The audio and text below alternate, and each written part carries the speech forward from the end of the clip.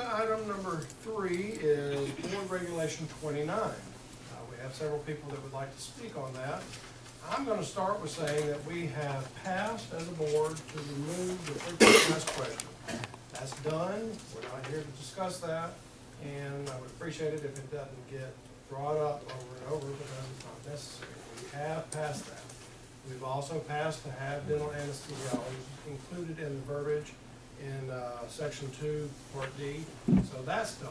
So again, if that's what you wanna speak on, don't bother. We've already passed that, and we don't need to hear it again. So, Dr. Matthias is not here. Dr. Sumner, do you have comments? Good morning. Good morning. Kind of, we we can just pass out the supporting material to you. Okay. This is- yes. Oh, there's two pages to each.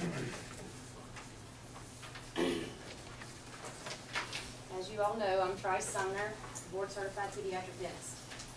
I asked to speak today because despite raising concerns for nearly a year over the unsafe use of general anesthesia on pediatric patients for restorative dental care in a dental office setting, someone or something is blocking any board action to curtail this practice. Okay, we're not gonna go there.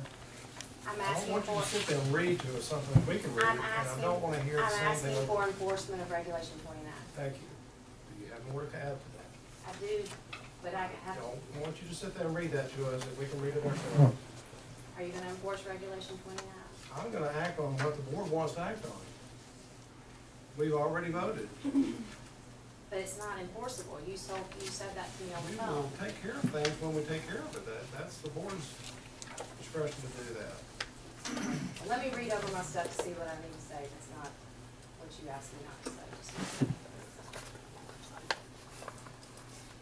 I will say this, the board will file